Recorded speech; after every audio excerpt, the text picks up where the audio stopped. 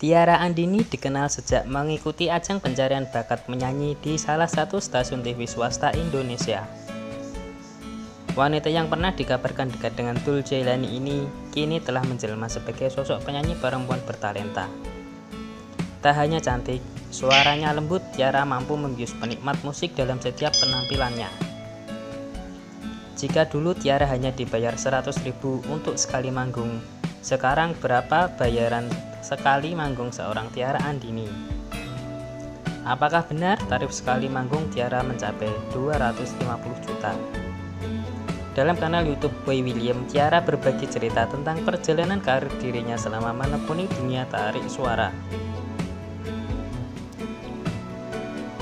Berawal dari Boy yang menanyakan bayaran Tiara di awal dirinya berkarir sebagai penyanyi. Dulu kamu dibayar berapa awal-awal? Tanya Boy pada pelantun lagu 365 ini. Awalnya Tiara ragu untuk menyebutkan, tapi setelah merasa yakin Tiara pun belak-belakan cerita pada Boy.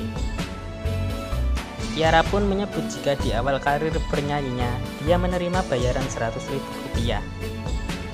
Bayaran tersebut perlahan semakin bertambah ketika Tiara menjadi spesialis penyanyi lagu Mandarin. Kemudian Boy menanyakan tarif Tiara saat ini setelah terkenal lewat Indonesian Idol.